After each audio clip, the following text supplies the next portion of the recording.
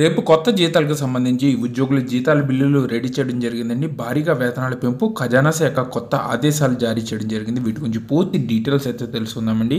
ముందుగా వీడియోని లైక్ చేసి మీ తోటి ఉద్యోగ మిత్రులకు వీడియోని అయితే షేర్ చేయండి. ఏపీలో శరవేగంగా కొత్త పీఆర్సీ బిల్లులు రెడీ చేస్తున్నారండి.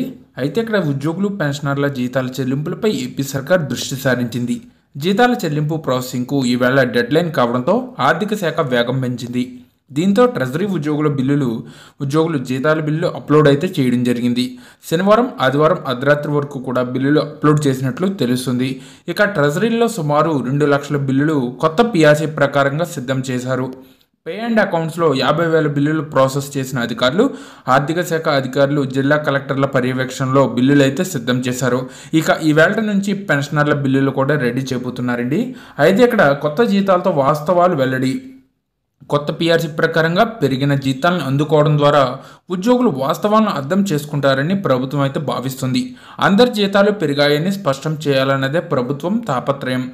అందుకనే శరవేగంగా జీతాల బిల్లులు ప్రాసెస్ చేపట్టింది. కొన్ని రాజకీయ శక్తులు పన్నిన కుట్రలకు ఉద్యోగులు బలి కాకుండా కాపాడుకుంటూ నిజం ఏమిటో తెలియజేసేలా చర్యలు అయితే చేపట్టింది. జీతాలు తగ్గుతాయన్న ఆరోపణలో నిజం లేదని నిరూపించింది. ఎట్టి పరిస్థితుల్లోని ఉద్యోగులు పెన్షనర్లకు చెందిన మొత్తాలను ఫిబ్రవరి ఒకటి నాటికి బ్యాంకు ఖాతాల్లో జమ చేయాలని ప్రభుత్వం అయితే స్పష్టమైన ఆదేశాలు అయితే ఇచ్చింది.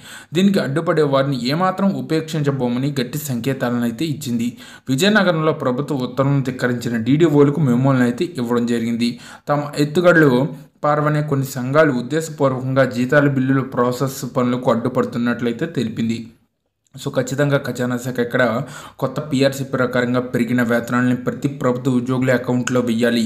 వారి యొక్క వాస్తవ జీతాలకు ఇప్పుడు జీతాలకు సరిచూసుకోండి అని చెప్పి పిఆర్సీ పే స్లిప్స్ ప్రకారంగా కొత్త జీతాలు అయితే వేస్తున్నారండి. సో పే స్లిప్స్ వచ్చాక ఉద్యోగులకు ఎంత జీతం పెరిగింది అనే విషయాలు అయితే అర్థమవుతాయని చెప్పి ప్రభుత్వం యొక్క తాపత్రయం. సో ఇదండి వాళ్ళ బ్రేకింగ్ అప్డేట్. Thank you